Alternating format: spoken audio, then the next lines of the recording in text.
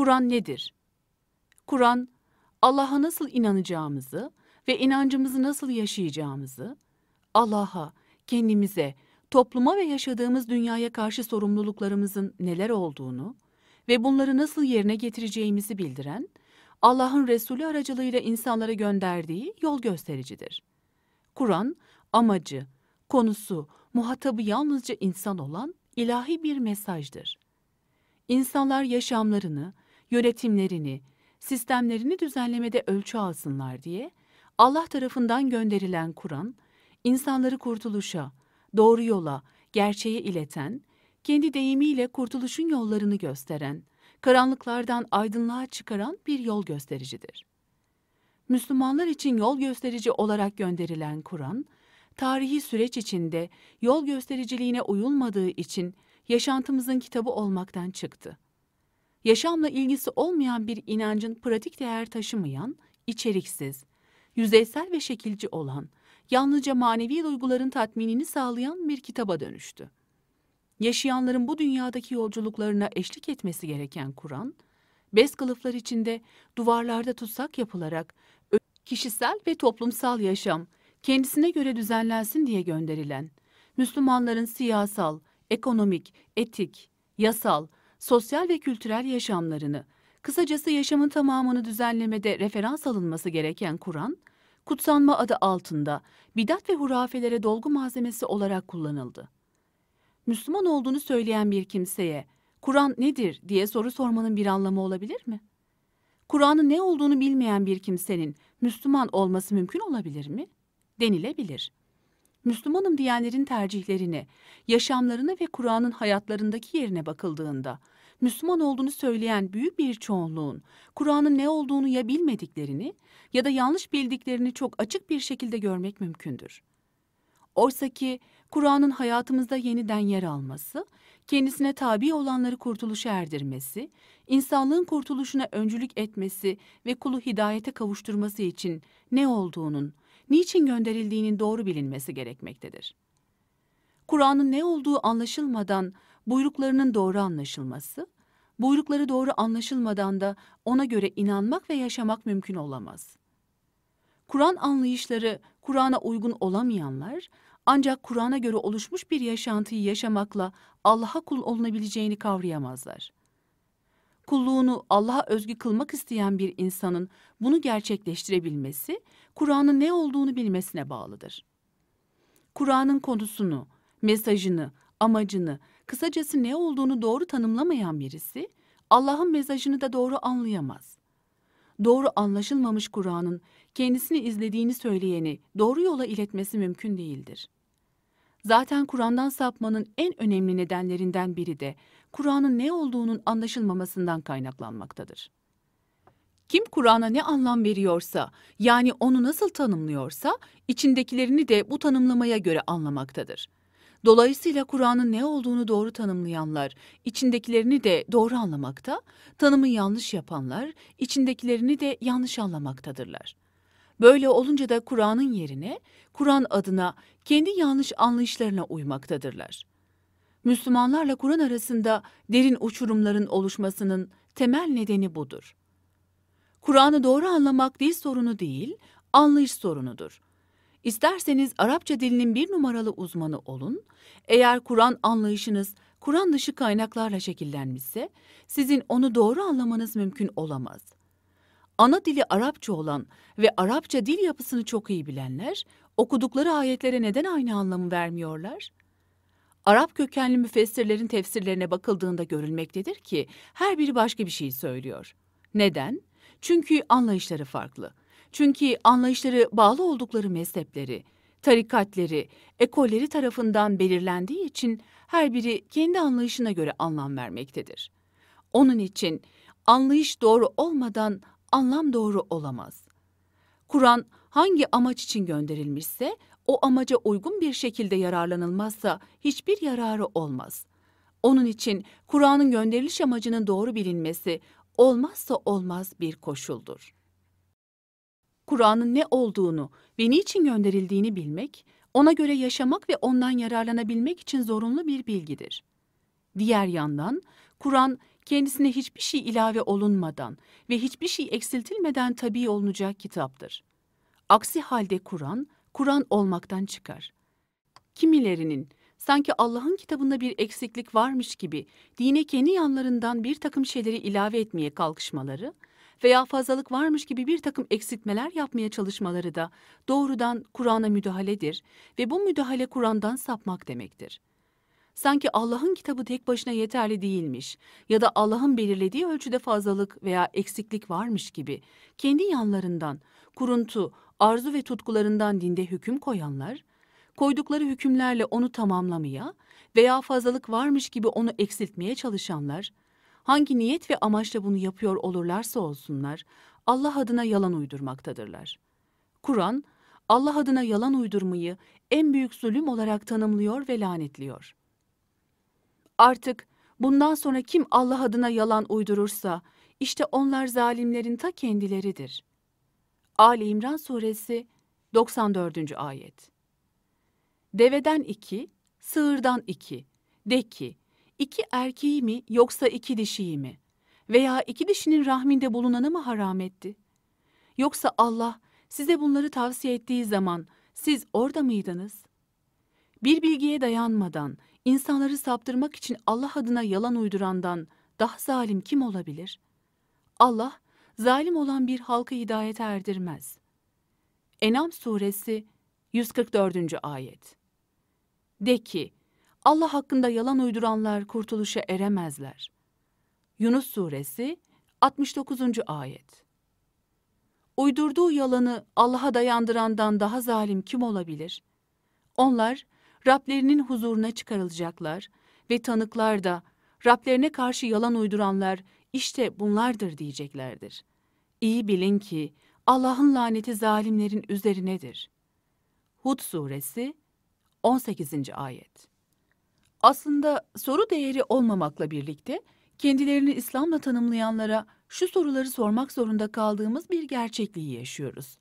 Kur'an, ölüye okumak, kutsal gün ve gecelerde okuyarak sevap kazanmak, güzel okuma yarışmaları düzenlemek, hastaya şifa olmak, muska yapmak, bez kılıflar içinde duvarlara asılmak, bilim kitabı olmak, yalnızca belli başlı ibadetleri düzenleyen bir ilmihal kitabı olmak, doğumda, ölümde, sünnette, evlilikte ve benzeri okunarak kazanç kapısı olmak için mi gönderilmiştir?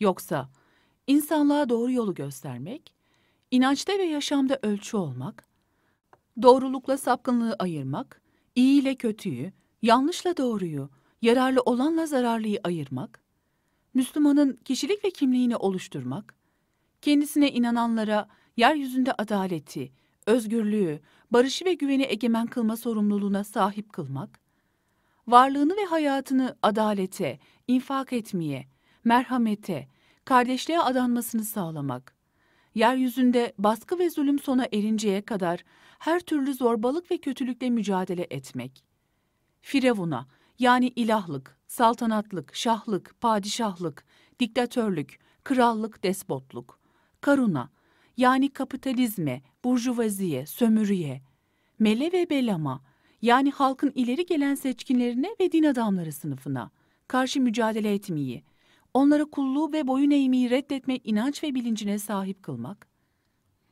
insanı her türlü gücün, kurumun, kişinin köleliğinden kurtararak yalnızca Allah'a kul yaparak özgür kılmak ki Allah'ın şirki en büyük zulüm olarak tanımlamasının nedeni şirk düzenlerinin insanı köleleştirici bir yapıya sahip olmalarıdır. Müslümanların toplumsal, siyasal, sosyal, ekonomik, kültürel ve ahlaki yaşamlarını, diğer bir deyimle doğumlarıyla ölümleri arasındaki yaşamlarını bütün yönleriyle kendisine göre düzenlemeleri, tek ilahın Allah olduğuna, ondan başka bütün ilahları, İslam dışı bütün sistem ve düzenleri reddetmek için mi gönderildi? Evet. Bunlardan hangisi için gönderildi? Elif, lam, ra. Bu yasa sahibi, her şeyden haberdar olan tarafından ayetleri sağlamlaştırılmış ve ayrıntılı olarak açıklanmış bir kitaptır. Allah'tan başkasına kulluk yapmayın. Ben onun tarafından size gönderilmiş bir uyarıcı ve haber vericiyim. Hud suresi 1 ila 2. ayetler. Allah'tan başkasına kul olmamak ancak onun kitabına uymakla mümkündür. Kur'an'dan başka dinde belirleyicisi olanlar, belirleyici yaptıkları şeyin kulu olurlar. Kur'an'a denk veya onun yanı sıra belirleyici bir kitap olabilir mi? Ya da daha doğru ve iyi olanı? Olamaz diyorsak ve bunda samimiysek, ne diye yaşantımızı düzenlemede onu belirleyici yapmıyoruz? Kur'an'ın en üstün, en doğru ve en iyi kitap olduğuna inanıyorsak, yaşamımızı ona göre düzenlememiz gerekmez mi? Yalnız bu dünyanın değil, ebedi dünyanın da kurtuluşunun teminatı olan Kur'an varken, nasıl oluyor da yaşamımızın düzenleyici kurallarını belirlemede başka kitaplara da uymayı kabul ediyoruz? Kur'an, de ki, eğer ins ve cin bu Kur'an'ın benzerini getirmek için bir araya gelseler ve birbirlerine yardımcı olsalar da kesinlikle onun benzerini ortaya koyamazlar. İsra suresi 88. ayet. Demiyor mu? Kur'an'ın yanı sıra başka düşünce ve ekollerin dinde söz sahibi olduğunu kabul edenler, onunla birlikte başka kaynakları da referans alanlar, kendi hevalarını ilah edinmektedirler. Kuşkusuz bu Kur'an en doğru yolu gösterir. Salihatı yapan müminlere kesinlikle büyük bir ödül olduğunu müjdeler. İsra suresi 9. ayet. İnsanlığı kurtuluşa erdirecek, gerçek ve doğru olanı iletecek, izzetli ve şerefli kılacak, gerçek özgürlüğe kavuşmasını sağlayacak, karanlıklardan aydınlığa çıkaracak, doğru yola iletecek tek kılavuz Kur'an'dır. Allah, Kur'an'la rızasına bilerek tabi olanları esenlik yollarına iletir. Onları izniyle karanlıklardan aydınlığa çıkartır ve onları dosdoğru olan yola iletir. Maide suresi 16. ayet. Ya Kur'an'ın yol göstericiliği ya da başka yol göstericiler. Dileyen dilediği yol göstericiyi seçebilir. Dikkat edilmesi gereken husus şudur. Ya Kur'an ya da başka kılavuzlar. Kur'an'dan başka veya Kur'an'la birlikte bir kılavuz seçme hakkımız yok. Çünkü böylesi bir seçim sahibini müşrik yapar. Kitaplaştırılmamış hiçbir fikir, düşünce, sistem, düzen ve dünya görüşü yoktur. Her düşünce ve görüş bir kitaba dayanmaktadır. İnsanlar yaşamlarını seçtikleri kitaplara göre düzenlerler. Her kitabın ana ilkeleri ve değiştirilemez sabitleri vardır. Her kitabın dayandığı kaynak ve sahip vardır. Kim hangi kitabın görüşüne göre inanıyor ve yaşıyorsa, o kitabın dininden sayılır. Tıpkı sahibi Allah, kaynağı vahiy olan kitabın dinine göre inanıp yaşayana Müslüman dendiği gibi. Müslümanlığın ana ilkesi tevhiddir. Yani Allah'a ve onun kitabına, dinine hiçbir şeyi eş koşmamaktır. İnsan seçtiği kitabın dinindendir. İslam'ın kitabını seçenler İslam dinine, diğer kitapları seçenler de seçtikleri kitabın dininden olurlar. Bu gerçeğe rağmen insanların kendi yanlarından uydurdukları, hevalarına dayalı kitapların dinine uydukları halde kendilerini Müslüman olarak görüyor olmaları, kendilerini aldatmaktan başka bir şey değildir. Onlar sadece zanlarına uymaktadırlar. Çünkü Müslüman olmanın şartı sadece Allah'ın kitabını esas almaktır. Zira Rabbimiz, Rabbinizden size indirilene uyun. Ondan başka velilere uymayın. Ne kadar az öğüt tutuyorsunuz. Araf suresi 3. ayet buyurmaktadır. Şu bir gerçektir ki din adına karma karışık, çarpık ve hakla batılın iç içe olduğu, birbirine karıştığı bir hayatı yaşıyoruz. İslam'ın kitabına egemen sistemlerin izin verdikleri, uygun gördükleri oranda yer verilmektedir. Bu durumu kabullenenlerin Kur'an'ın etken olmadığı, ölçü alınmadığı bir sistemi, düzeni benimseyenlerin bu seçimlerine rağmen kendilerini Müslüman sanmaları kesin bir yanılgıdan başka bir şey değildir.